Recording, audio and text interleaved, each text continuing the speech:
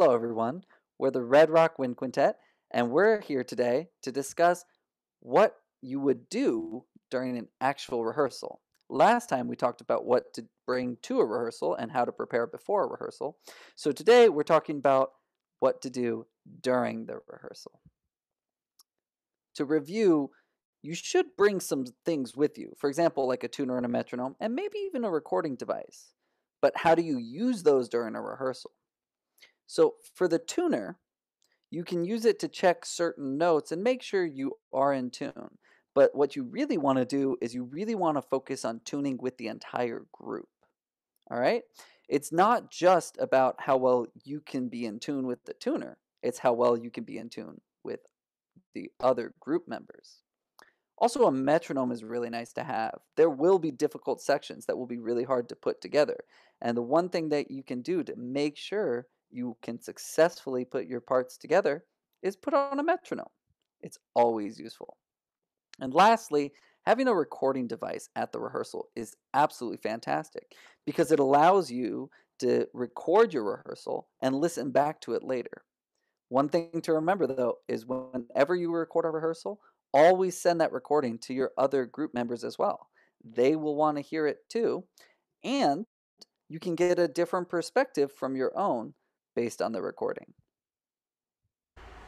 My topic is eye contact.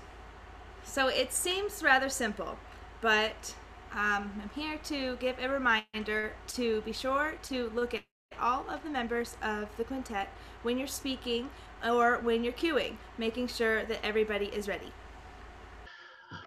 I would like to talk about what to say, what not to say. Any offensive comments won't help the group succeed. Uh, for example, um, like uh, for example, uh, that passage doesn't together doesn't together each other. Can we play one more time? And for another example, what not to say?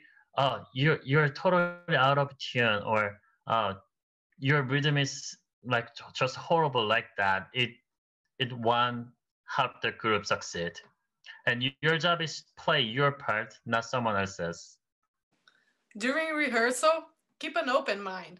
Don't take your opinions and ideas for granted.